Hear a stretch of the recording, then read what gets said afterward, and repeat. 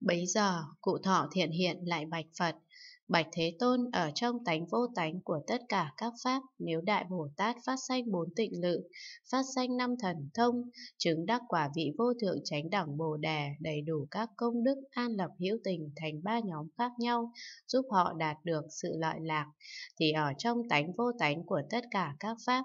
làm sao Đại Bồ Tát mới phát tâm tạo nghiệp tuần tự, tu học tuần tự, làm các việc tuần tự, chứng đắc quả vị vô thượng chánh đẳng Bồ Đề, làm các việc lợi lạc thù thắng cho hữu tình. Phật bảo thiện hiện, các đại Bồ Tát ở địa vị mới phát tâm hoặc theo Phật,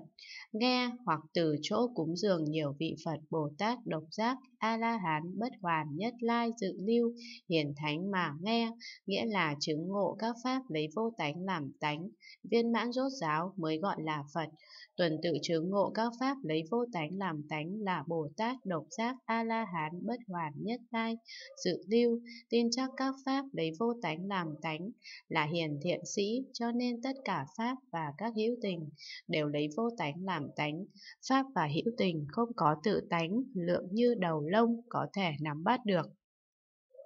Sau khi nghe việc này, Đại Bồ Tát ấy nghĩ, nếu tất cả các pháp và các hữu tình đều lấy vô tánh làm tự tánh, chứng đắc việc đó nên gọi là Phật, Bồ Tát, Độc Giác, A-la-hán, Bất Hoàn, Nhất Tai, Dự Lưu, tin chắc việc đó nên gọi là hiền thiện sĩ, thì đối với quả vị vô thượng chánh đẳng Bồ Đề hoặc là ta sẽ chứng đắc hoặc không chứng đắc,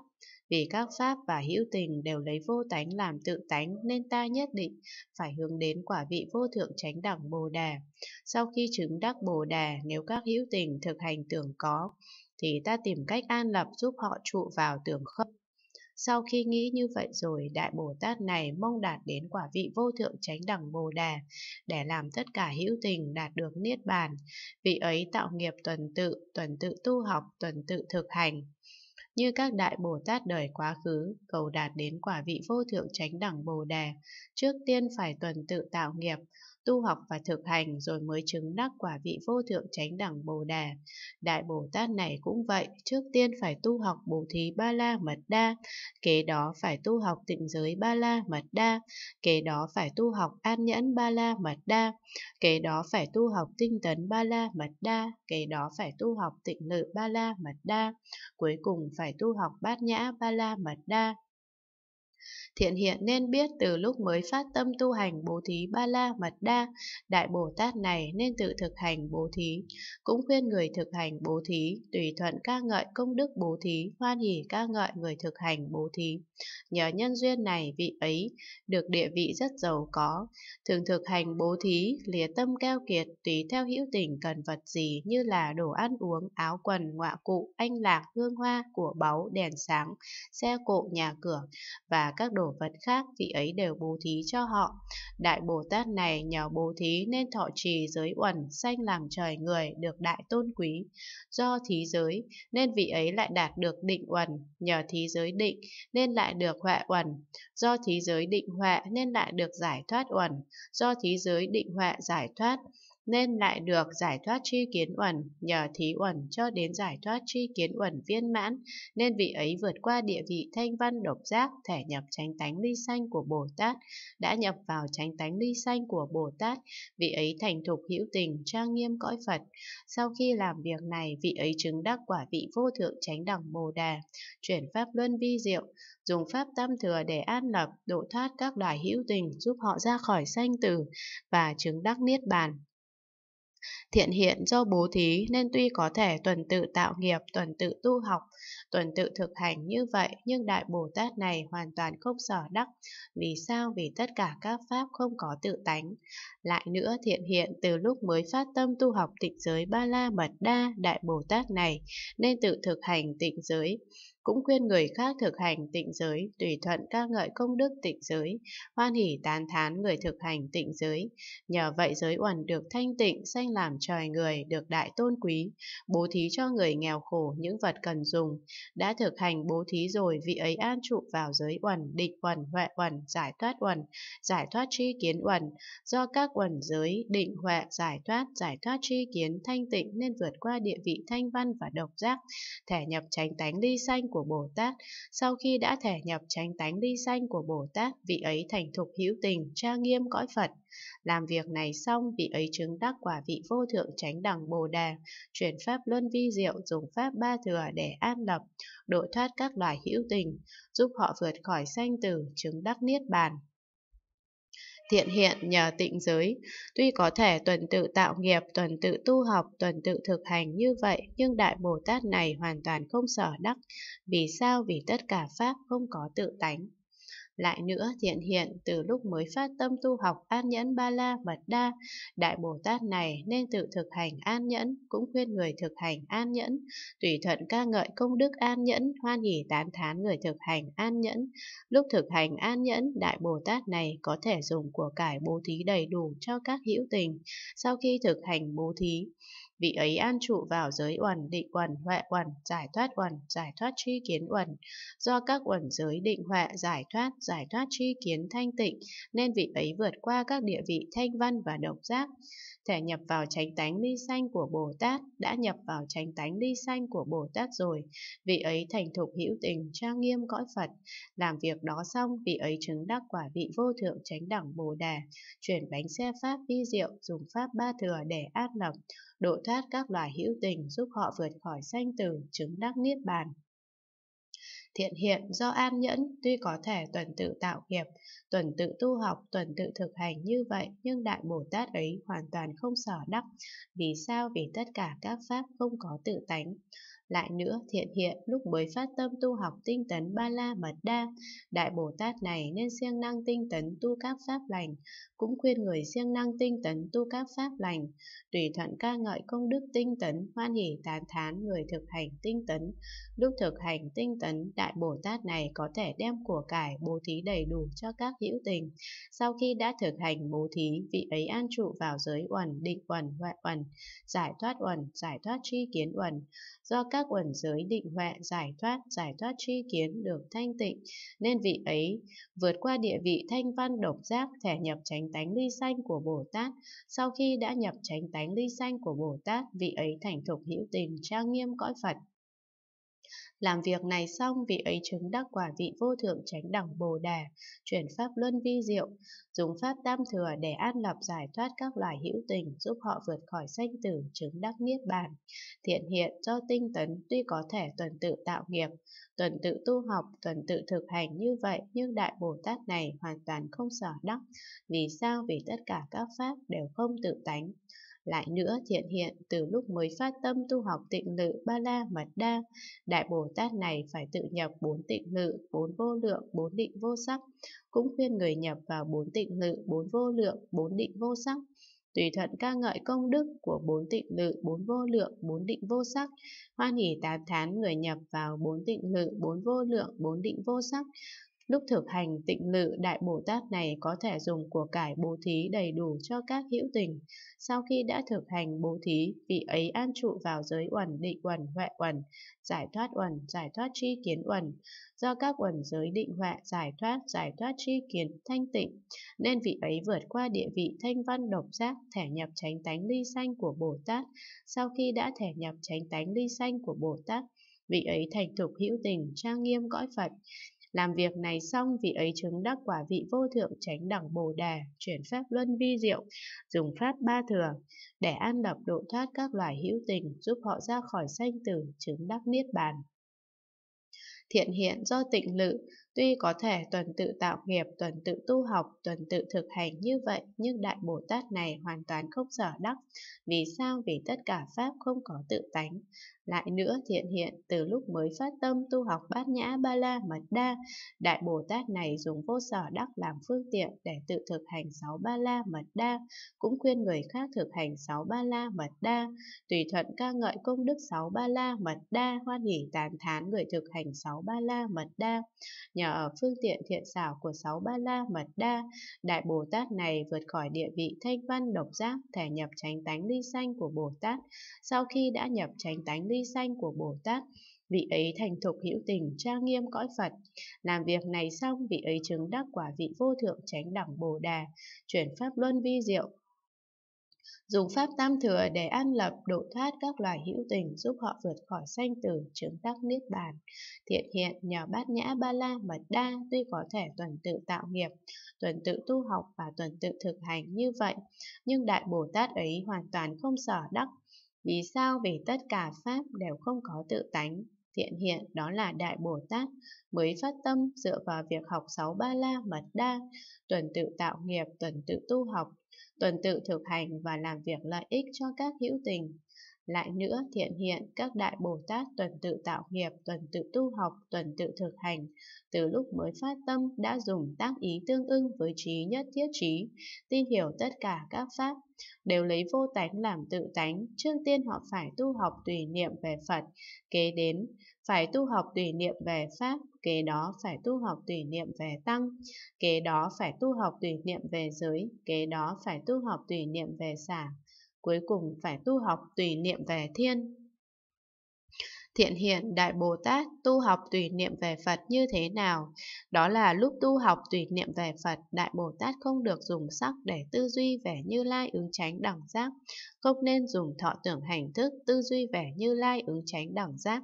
Vì sao? Vì sắc thọ tưởng hành thức đều không tự tánh, pháp nào không tự tánh thì không thể niệm, không thể tư duy. Vì sao? Vì nếu không niệm không tư duy, đó là tùy niệm về Phật. Lại nữa, thiện hiện lúc tu học tùy niệm về Phật, các đại Bồ Tát không nên dùng 32 tướng tốt để tư duy về Như Lai ứng tránh đẳng giác, không nên dùng thân màu vàng kim, thường phát ánh sáng rộng một tầm và 80 vẻ đẹp để tư duy về Như Lai ứng tránh đẳng giác. Vì sao? Vì tướng tốt và sắc thân có ánh sáng vàng kim đều không tự tánh. Pháp nào không tự tánh thì không thể niệm, không thể tư duy. Vì sao? Vì nếu không niệm, không tư duy, đó là tùy niệm về Phật. Lại nữa, thiện hiện lúc tu học tùy niệm về Phật các đại Bồ Tát, không nên dùng giới uẩn để tư duy về Như Lai ứng tránh đẳng giác, không nên dùng định uẩn, huệ uẩn, giải thoát uẩn, giải thoát tri kiến uẩn để tư duy về Như Lai ứng tránh đẳng giác. Vì sao? Vì các uẩn này đều không tự tánh. Nếu Pháp không tự tánh thì không thể niệm, không thể tư duy. Vì sao? Vì nếu không niệm, không tư duy, đó là tùy niệm về Phật. Lại nữa, thiện hiện lúc tu học tùy niệm về Phật, các đại Bồ Tát không nên dùng năm loại mắt, sáu phép thần thông, tư duy về Như Lai, ứng tránh đẳng giác, không nên dùng mười lực Như Lai, bốn điều không sợ, bốn sự hiểu biết thông suốt, đại từ, đại bi, đại hỷ, đại xả, 18 pháp Phật bất cộng để tư duy về Như Lai, ứng tránh đẳng giác.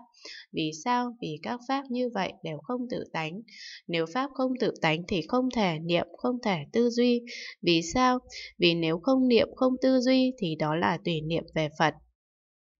Lại nữa, thiện hiện, lúc tu học tùy niệm về Phật,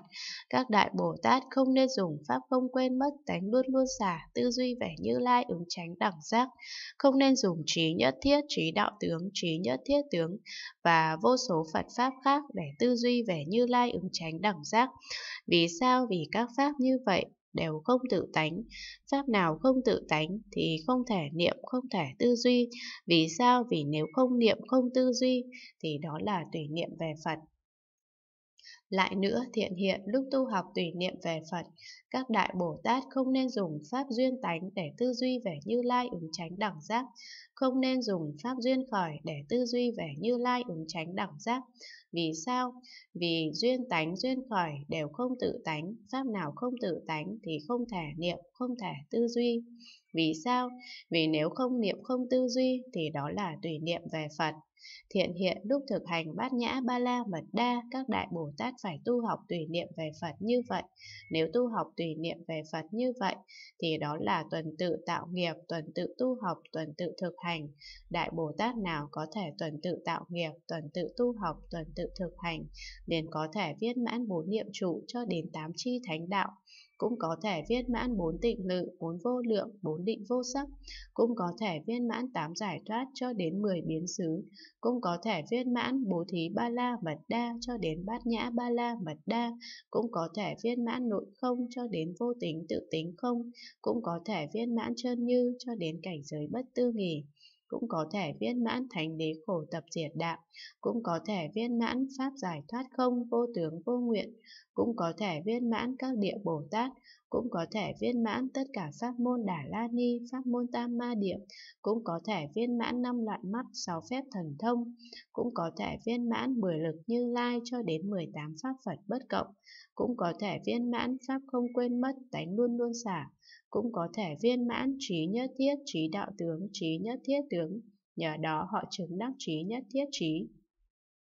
Thiện hiện nhờ sức phương tiện lấy tất cả pháp vô tánh làm tánh, nên Đại Bồ Tát này biết tất cả pháp đều không tự tánh, trong đó không có tưởng, cũng không không tưởng. Thiện hiện, các Đại Bồ Tát nên tu học tùy niệm về Phật như vậy, nghĩa là trong tánh vô tánh của tất cả các pháp, Phật còn không thể đắc, huống là có tùy niệm về Phật. Thiện hiện Đại Bồ Tát phải tu hành Pháp tùy niệm như thế nào? Đó là lúc tu học tùy niệm về Pháp, các Đại Bồ Tát không nên tư duy về Pháp lành, Pháp ác, không nên tư duy về Pháp hữu ký, Pháp vô ký, không nên tư duy về Pháp thế gian, Pháp xuất thế gian, không nên tư duy về Pháp có mê đắm và Pháp không mê đắm, không nên tư duy về Pháp hữu tránh và Pháp vô tránh, không nên tư duy về Pháp thánh và Pháp phi thánh, không nên tư duy về Pháp hữu lậu và Pháp vô lậu, không nên tư duy về Pháp đạ ba cõi và Pháp không đạ ba cõi, không nên tư duy Pháp thuộc cảnh giới hữu vi và Pháp thuộc cảnh giới vô vi. Vì sao? Vì các Pháp như vậy đều không tự tánh, Pháp nào không tự tánh thì không thể niệm, không thể tư duy. Vì sao? Vì nếu không niệm, không tư duy thì đó là tùy niệm về Pháp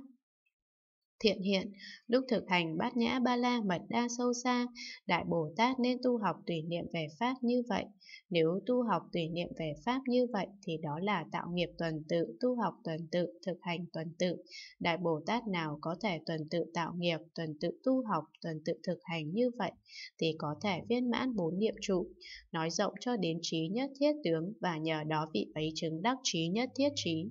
Thiện hiện nhờ sức phương tiện dùng tất cả Pháp vô tánh làm tánh, nên Đại Bồ Tát này giác ngộ tất cả Pháp đều không tự tánh, ở trong đó không có tưởng cũng không phải không có tưởng. Thiện hiện các đại Bồ Tát nên tu học tùy niệm về Pháp như vậy, nghĩa là trong tánh vô tánh của tất cả các Pháp, Pháp còn bất khả đắc, huống là có tùy niệm về Pháp. Thiện hiện Đại Bồ Tát phải tu học tùy niệm về Tăng như thế nào? Đó là lúc tu học tùy niệm về Tăng Đại Bồ Tát này, nên nghĩ Chúng đệ tử Phật đầy đủ giới uẩn, định uẩn, huệ uẩn, giải thoát uẩn, giải thoát tri kiến uẩn, thanh tịnh.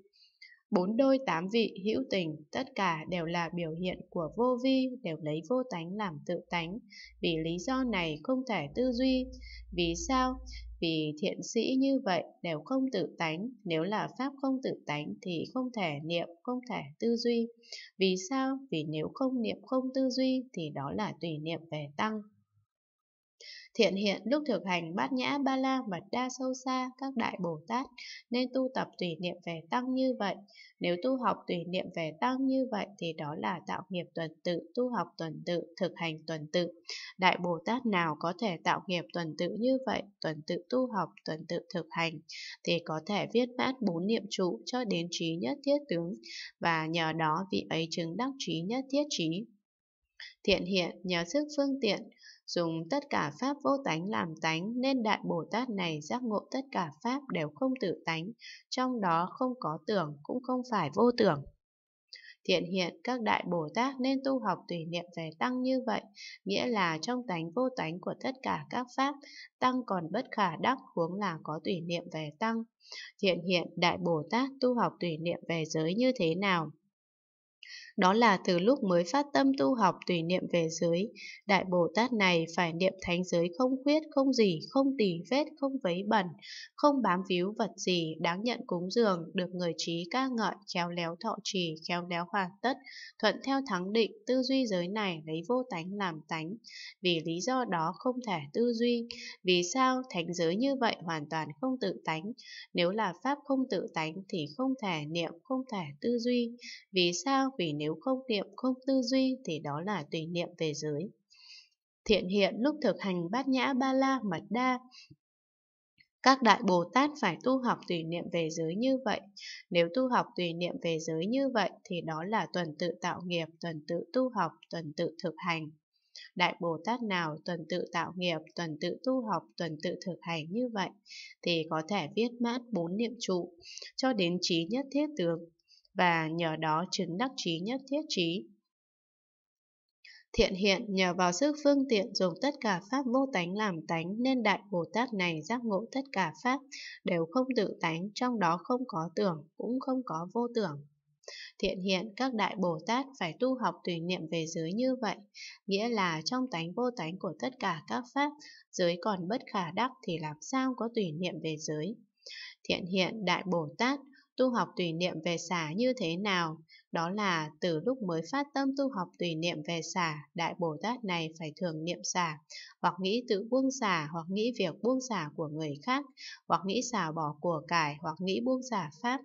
Đối với việc xả thí, quyết không sanh tâm ta có thể xả thí hoặc không xả thí. Nếu xả bỏ các bộ phận của thân, thì cũng không sanh tâm ta có thể xả thí hoặc không xả thí. Cũng không tư duy về nơi xả, nơi cho, phước bố thí và quả báo của việc bố thí. Vì sao? Vì các pháp như vậy đều không tự tánh, pháp nào không tự tánh thì không thể niệm, không thể tư duy. Vì sao? Vì nếu không niệm không tư duy thì đó là tùy niệm về xả. Thiện hiện lúc thực hành bát nhã ba la mật đa sâu xa, các đại Bồ Tát nên tu học tùy niệm về xả như vậy. Nếu tu học tùy niệm về xả như vậy thì đó là tạo nghiệp tuần tự, tuần tự tu học, tuần tự thực hành. Đại Bồ Tát nào có thể tuần tự tạo nghiệp, tuần tự tu học, tuần tự thực hành thì có thể viên mãn bốn niệm trụ cho đến trí nhất thiết tướng và nhờ đó chứng đắc trí nhất thiết trí. Thiện hiện nhờ sức phương tiện dùng tánh vô tánh của tất cả Pháp, làm tánh, Đại Bồ Tát ấy giác ngộ tất cả Pháp, đều không tự tánh, trong đó không có tưởng, cũng không có vô tưởng. Thiện hiện các Đại Bồ Tát nên tu học tùy niệm về xả như vậy, nghĩa là trong tất cả Pháp vô tánh, xả còn bất khả đắc, thì làm sao có tùy niệm về xả? Thiện hiện Đại Bồ Tát tu học tùy niệm về thiên như thế nào? Đó là từ lúc mới phát tâm tu học tùy niệm về thiên, Đại Bồ Tát này phải nghĩ. Nhờ có tín giới văn xả huệ trong sạch nên chư thiên ở cõi trời tứ đại thiên vương cho đến chư thiên trời tha hóa tự tại từ cõi này qua đời sanh về cõi trời ấy. Nay ta cũng có tín giới văn xả huệ trong sạch tương tự như công đức các vị trời ấy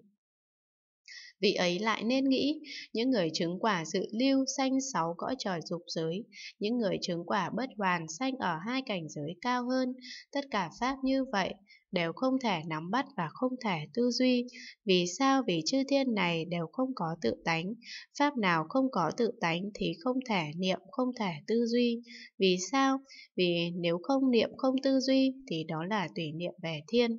Thiện hiện lúc thực hành bát nhã ba la mật đa sâu xa, các đại Bồ Tát phải tu học tùy niệm về thiên như vậy. Nếu tu học tùy niệm về thiên như vậy thì đó là tạo nghiệp tuần tự, tuần tự tu học, tuần tự thực hành.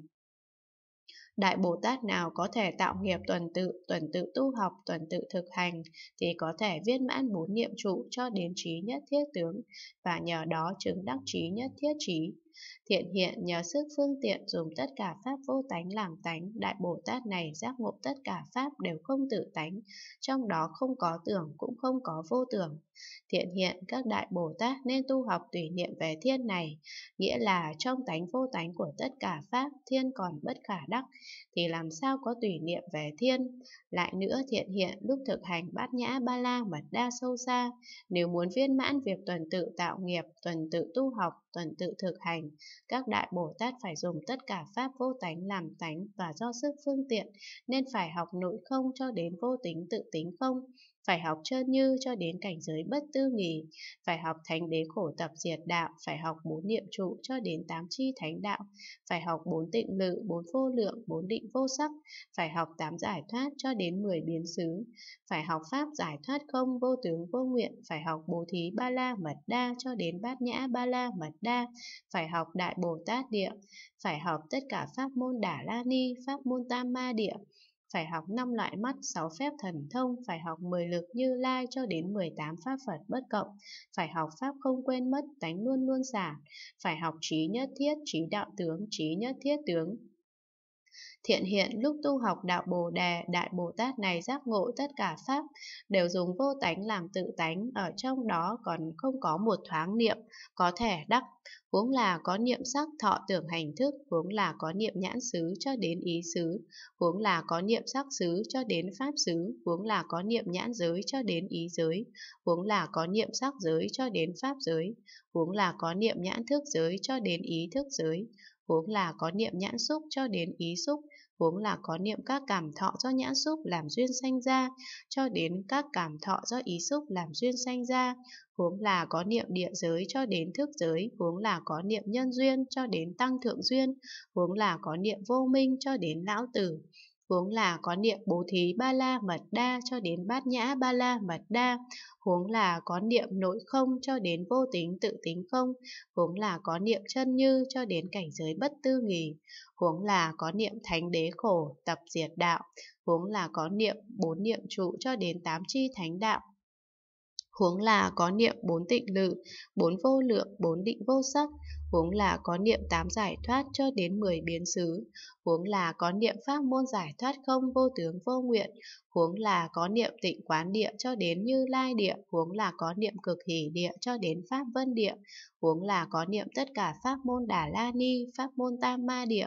huống là có niệm năm loại mắt, sáu phép thần thông, huống là có niệm mười lực như lai cho đến 18 pháp Phật bất cộng, huống là có niệm 32 tướng tốt, 80 vẻ đẹp của bậc đại sĩ, huống là có niệm pháp không quên mất, tánh luôn luôn xả, huống là có niệm trí nhất thiết, trí đạo tướng, trí nhất thiết tướng, huống là có niệm quả dự lưu, nhất lai, bất hoàn, a-la-hán, độc giác bồ đề, huống là có niệm tất cả các hạnh của Đại Bồ Tát, huống là có niệm quả vị vô thượng chánh đẳng Bồ Đề của chư Phật, huống là có niệm trí nhất thiết trí. Thiện hiện các niệm và pháp được niệm này, nếu thật có chút ít thì thật là vô lý. Như vậy thiện hiện lúc thực hành bát nhã ba la mật đa sâu xa, tuy các đại Bồ Tát tạo nghiệp tuần tự, tuần tự tu học, tuần tự thực hành, nhưng ở trong đó tâm hoàn toàn không lay truyền vì tất cả pháp đều không có tự tánh. Cụ thọ thiện hiện thưa, Thế tôn nếu tất cả pháp đều không tự tánh, thì phải không có sắc thọ tưởng hành thức cho đến không có trí nhất thiết trí, thì phải không có Phật Pháp Tăng, Bảo, Đạo, Quả, nhiễm tịnh cũng không có, không hiện quán thì tất cả Pháp đều phải là không. Phật bảo thiện hiện, ý ông nghĩ sao ở trong tánh vô tánh của tất cả các Pháp có tánh, vô tánh là có thể đắc không? Thiện hiện đáp không thưa Thế Tôn, Phật bảo thiện hiện nếu trong tánh vô tánh của tất cả các pháp có tánh, vô tánh đều không thể đắc, thì nay vì sao ông có thể nói nếu tất cả pháp đều không tự tánh, thì phải không có sắc thọ tưởng hành thức cho đến phải không chứng đắc và hiện quán, thì tất cả pháp đều phải là không. Thiện hiện thưa, con không có nghi ngờ ý nghĩa này, chỉ vì lo tương lai có bí xô, hoặc cầu thanh văn, hoặc cầu độc giác, hoặc cầu Phật quả, họ nghĩ nếu tất cả Pháp đều không tự tự tánh, thì ai nhiễm, ai tịnh, ai trói, ai mở, do không hiểu biết đối với nghĩa nhiễm, tịnh, trói, mở nên họ hủy giới, hủy kiến, hủy oai nghi, hủy tịnh mạng. Do đó họ sẽ đọa trong ba đường ác, chịu các nỗi khổ dữ dội, khó được giải thoát. Con quán thấy đời vị lai sẽ có những việc đáng sợ như vậy cho nên nói thế, chứ thật sự con không nghi ngờ việc ấy. Phật bảo thiện hiện, lành thay, lành thay, nay ông có thể vì các tỳ kheo đòi vị lai hỏi như vậy, nhưng trong tánh vô tánh của tất cả các pháp, hoặc có hoặc không đều bất khả đắc.